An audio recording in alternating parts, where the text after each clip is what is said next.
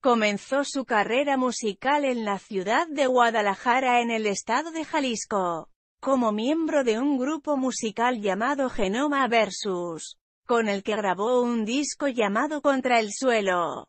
En 2007, entró al reality show de Disney, High School Musical, La Selección, con el cual grabó, junto con sus compañeros, dos álbumes con los temas interpretados en el programa. Cristóbal ganó dicho concurso, obteniendo el papel protagónico para la versión local de la película estadounidense High School Musical, llamada High School Musical, el desafío que se estrenó en septiembre del 2008.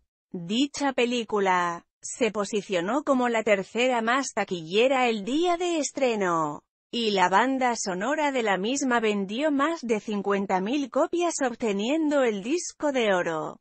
A finales del 2008 y principios del 2009, Cristóbal realizó una gira junto a sus compañeros de elenco alrededor de la República Mexicana, con el nombre de High School Musical. El desafío en gira interpretando los temas más escuchados de la película, como El verano terminó, Siempre juntos, Y, Yo sabía. Cristóbal forma parte de la familia Disney Latinoamérica en México y fue miembro de un grupo de baile llamado The Boys Are Back junto a Juan Carlos Flores y César Viramontes. Actualmente Cristóbal tiene un grupo llamado LOCKY y recientemente sacó un cover junto con Melissa Gutiérrez Gota 2NE1.